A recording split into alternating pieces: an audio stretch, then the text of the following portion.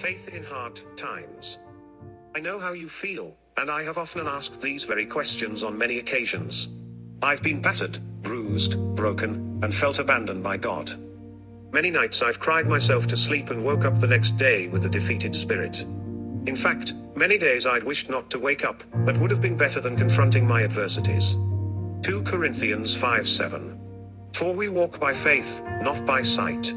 I was restless, nervous, anxious, stressed out, frustrated. But guess what? I made it.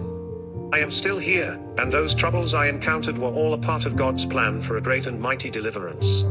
Psalm 9 9. The Lord also will be a refuge for the oppressed, a refuge in times of trouble, hard times. For what it's worth, God does deliver his people from hardships. But for some, if not most of us, his deliverance is too often a distant reality. But there is hope, God is true, just, and faithful. And from experiences, he doesn't necessarily operate with our time frame, though we wish he would. But the bottom line is he delivers his people. Psalm 46 1. God is our refuge and strength, an ever present help in trouble. Isaiah 43 2. When you pass through the waters, I will be with you. And when you pass through the rivers, they will not sweep over you. When you walk through the fire, you will not be burned, the flames will not set you ablaze.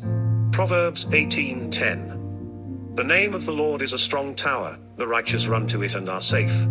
Philippians 4:6. Be anxious for nothing, but in everything by prayer and supplication, with thanksgiving, let your requests be made known to God. 1 Peter 5 7. Casting all your care upon him, for he careth for you. Got Romans 8 38 to 39. For I am convinced that neither death nor life, neither angels nor demons, neither the present nor the future, nor any powers, neither height nor depth, nor anything else in all creation, will be able to separate us from the love of God that is in Christ Jesus our Lord.